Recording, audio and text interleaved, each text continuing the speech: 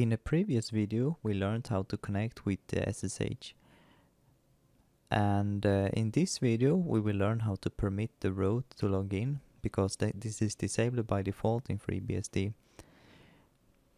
This is a matter of taste of course, some people like to have this not permitted and some like to have it permitted. So we go to our FreeBSD server and we need to edit the SSHD configuration file and I'm going to use the VI editor, you can use the editor you prefer. So I'm going to use v. And then I'm going to look for etc uh, sshd under let's see ssh it's, it should be under.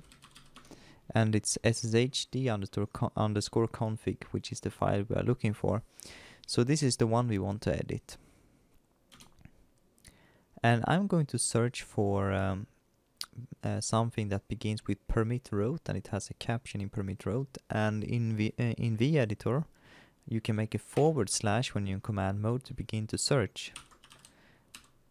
And press return. And then we were arriving here which is correct if you want to permit root login, first of all you need to remove the hash mark and you might ask as uh, beginners might ask why do we remove need to remove the hash mark Hash mark are normally as a, are normally a way to uncomment something, uh, to comment out something.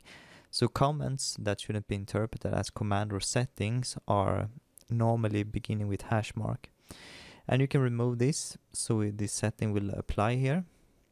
And then you see uh, the no, we need to replace this with the yes. This should do the trick. Permit root login and yes. And don't forget to, to remove the hash mark. I write this file and now the next step we need to do is to restart the SSH daemon. This is done by going to etc rc.d sshd restart and uh, this should do the trick then. Let's see we can start from uh, we can go to Ubuntu I wonder if I remember this password on this machine. I did. Okay. So what we can do now is instead of typing this username, we can try root. And it worked perfectly. Else that wouldn't be possible because uh, it's not permitted by default to log in as root. So that's how you do it. Wasn't too hard, right?